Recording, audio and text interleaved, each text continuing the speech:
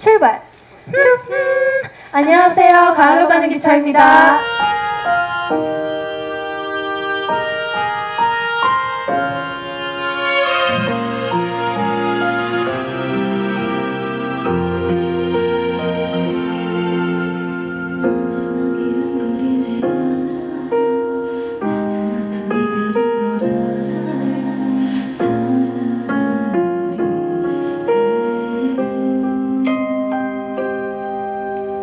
보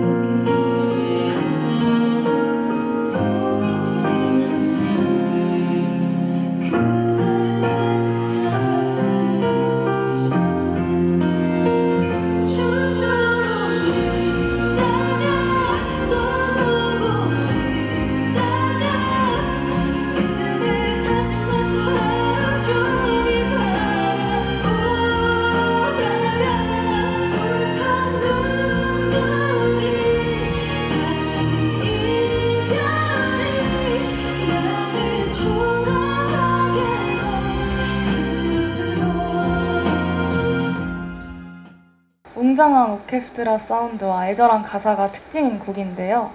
오보의 전주와 피아노 선율 그리고 쿠스틱 기타의 조화가 돋보이는 섬세한 곡입니다.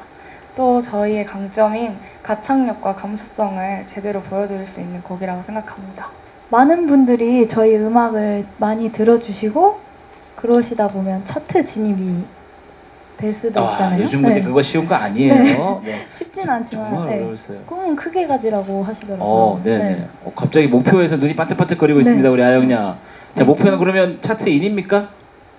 1위면 굉장히 좋겠지만 네, 50위도 정말 네. 50위. 네, 감사할 일단 우리 것 가을로 가는. 기차 아영양은 50위 정도 했으면 좋겠다.